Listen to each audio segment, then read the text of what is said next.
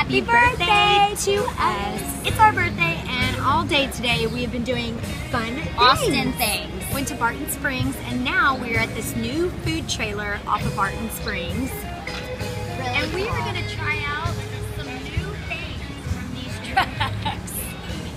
Sorry for the dizzy spell. But we are going to show you kind of what we picked today. So, What's we got on the menu, sister?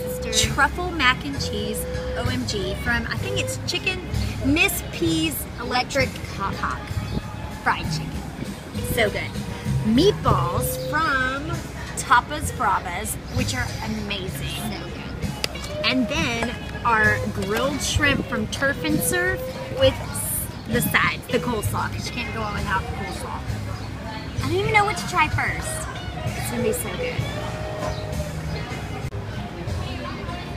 Good.